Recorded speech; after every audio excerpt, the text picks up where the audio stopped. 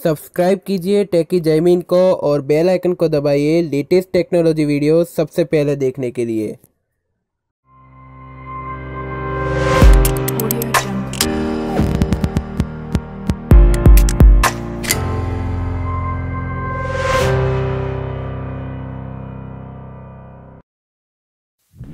नमस्कार दोस्तों मेरा नाम है जयमीन आप देख रहे हैं टेकी जयमीन दोस्तों, मैं आज बताना चाहूँगा कि अगर आपके पास Xiaomi का Redmi Note 6 Pro है और इसमें आपने ग्लोबल बीटा वर्जन डाल के रखा है और इसे आपको स्टेबल वर्जन में कन्वर्ट करना है, यानी कि इसका सॉफ्टवेयर इंस्टॉल करना है तो कैसे करना चाहिए इसी में बताना चाहूँगा।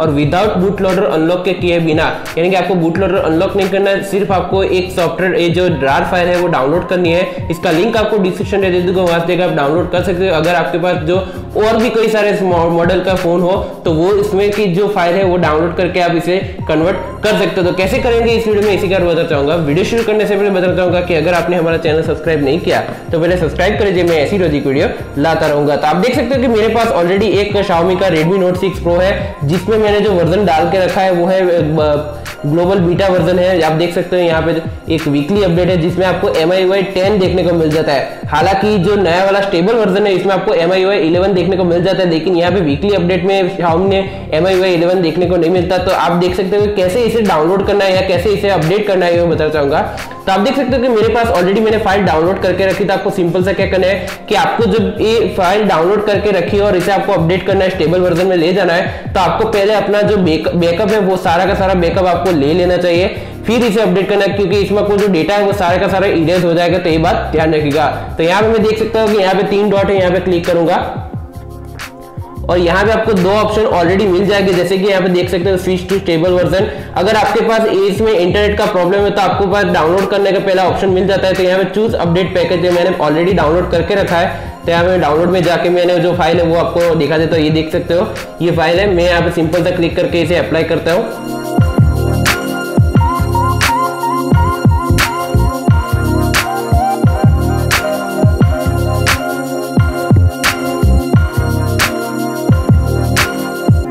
तो आप देख सकते हो कि यहाँ पे आ चुका है, अब मुझे क्या करना है आप देख सकते हो वर्जन 11.0.3.0 जो लास्ट पाई का अपडेट है और ग्लोबल स्टेबल वर्जन है तो यहाँ पे सिंपल सा मुझे इरेज और अपडेट करना है, यानी कि सारा का सारा डेटा डिलीट हो जाएगा तो ये बात ध्यान रखिएगा तो मैंने पहले ही बताया कि इसका जो बैकअप है, वो पहले से आप अलग से पीसी में या और कोई डिवाइस में ले लीजिए तो मैं यहाँ पे इरेज कर देता हूँ। और अपडेट कर देता हूँ। तो यहाँ पे देख सकते हो कि अपडेट होने का स्टार्ट हो चुका है। यहाँ पे डिक्रिप्टेड होने वाली है फ़ाइल तो यहाँ पे मैं सिंपल सा देख लेते हैं, कैसे डाउनलोड या अपडेट हो जाता है।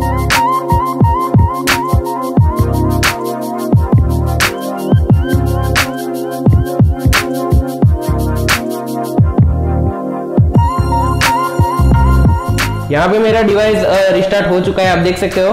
और ये स्टेबल वर्जन में ले जाने के लिए तैयार है। अब इसे रिस्टार्ट होने में थोड़ा 15 से 20 मिनट का टाइम लगेगा अपडेट होने में।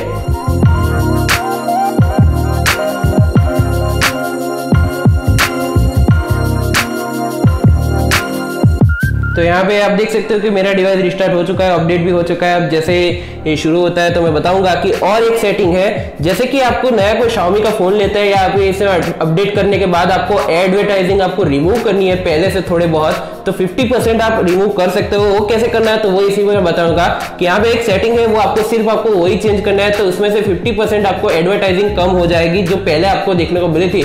या कभी भी आप कोई भी Xiaomi का नया फ़ोन लेते हो तो इसमें पहले से कैसे आप इसे एडवर्टाइजिंग रिमूव कर सकते हैं, इसे बताऊँगा। तो यहाँ पे जैसे डिवाइस स्टार्ट होता है तो मैं बता देता हूँ यहाँ पे।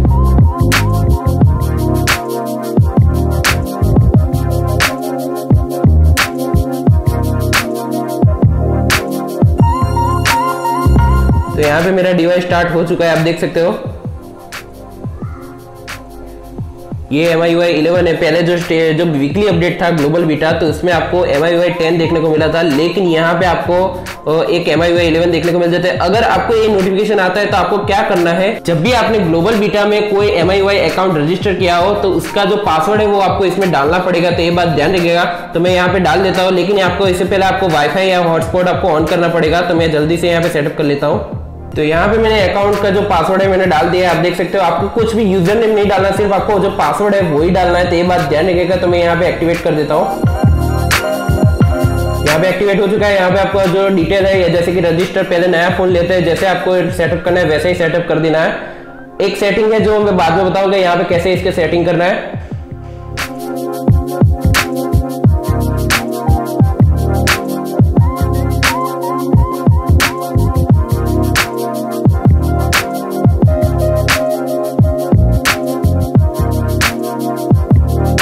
तो यहाँ पे ये सेटिंग है वही में इसमें आपको चेंजेस करना है। तो क्या करना है कि इसमें आपको जो यूज़ एक्सपीरियंस प्रोग्राम है उसे डिसेबल कर लेना है। दूसरा जो ऑप्शन है इसमें रखना है जो तीसरा ऑप्शन है पर्सनलाइज इन्फॉर्मेशन इसे भी डिसेबल कर देना है। तो अब जैसे ही डिसेबल करेंगे तो एडवर्टाइजिंग 50% ऑफ़ हो जाएगी। बाकी कोई सेटिंग ऐसा नहीं है कि जिसमें आपको एक कोई भी तरह का आपको देखने को मिलेगा। ये भी आपको जो ग्लैंस फॉर एम है, वो भी आपको डिसेबल करना है। तो उसके कारण क्या होगा कि जो आपको जो जो एडवर्टाइजिंग आपको देखने को मिलती है नोटिफिकेशन पैनल में या कोई भी एप्लीकेशन में तो उसमें थोड़ा सा कम हो जाएगा एप्लीकेशन में कोई भी एडवर्टाइजिंग आने में तो आपको इसमें कोई दिक्कत देखने को नहीं मिलेगी। अब देख लेते हैं कि इसमें आपको जो स्टेबल वर्जन है, वो इंस्टॉल हो चुका है कि नहीं हो चुका मैं आपको प्रूफ के साथ बता देता हूँ।